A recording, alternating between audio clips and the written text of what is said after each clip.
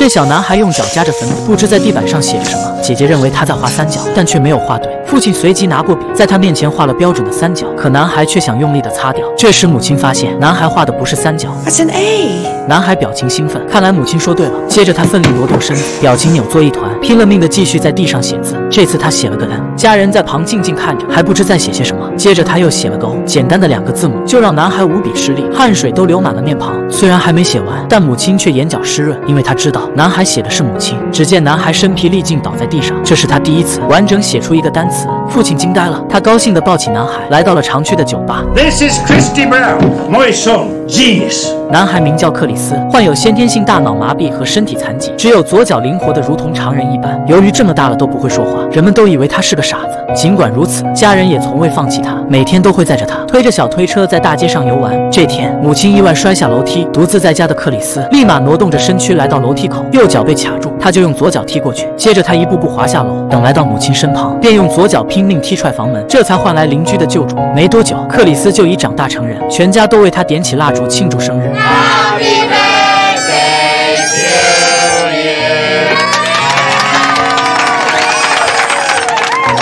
虽然身体依旧残疾，但他也慢慢学会了说话，也会用灵活的左脚在纸上作画。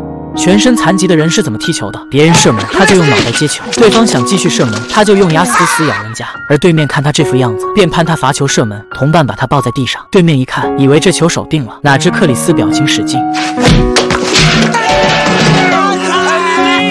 而在聚会上，伙伴们转起酒瓶，停下时瓶口对准谁，这女孩就要亲他一口。女孩以为会是自己的男神，结果却转到了克里斯。伙伴纷纷嘲笑他，但他却忍不了，站起身就往克里斯走去。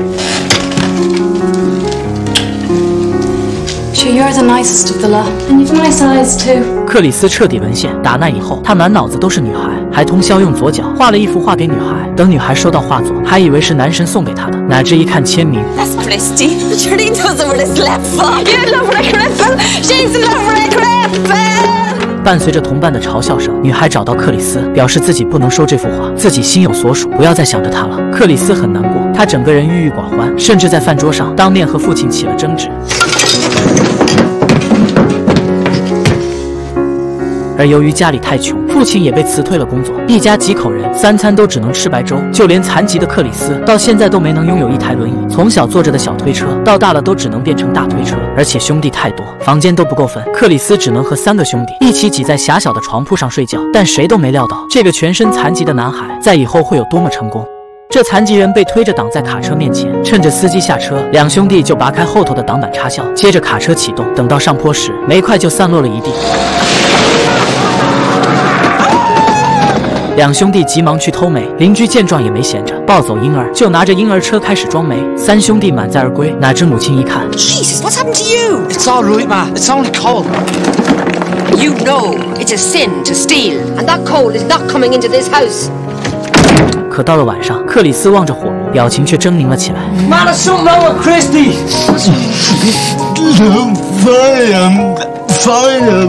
母亲这才发现火炉里扔了个小铁盒，她不顾高温，急忙徒手拿出来。父亲有些疑惑，不就是个铁盒吗？里面都有啥宝贝啊？Money for Christy's wheelchair. 原来母亲一直省吃俭用，从克里斯小时候就瞒着全家人存了二十八磅。We've been sitting here in the freezing cold, and you have 28 pounds seven and threepence up the fucking chimney. 一晚，母亲面色凝重，让父亲留下，几兄弟全都上楼回避。原来是女儿怀孕了。父亲得知消息，大发雷霆，疯狂辱骂着女儿。克里斯在楼上听着，更是气愤不已。他想下去替姐姐说话，但对方却跑了进来。Christy, stop! Chris, Christy! Christy, stop! Christy, please stop! Christy, stop! 姐姐拼命安抚克里斯，表示自己要走了，让他好好保重。而几天过后，母亲终于存够钱了，为克里斯买下了第一台轮椅，还找来一位专治大脑麻痹的艾琳医生，想要为他进行治疗。No, we don't have to pay, Christy. We don't have to pay. 一听可以白嫖，克里斯也答应了下来。但不曾想，这一切和他想的大不一样。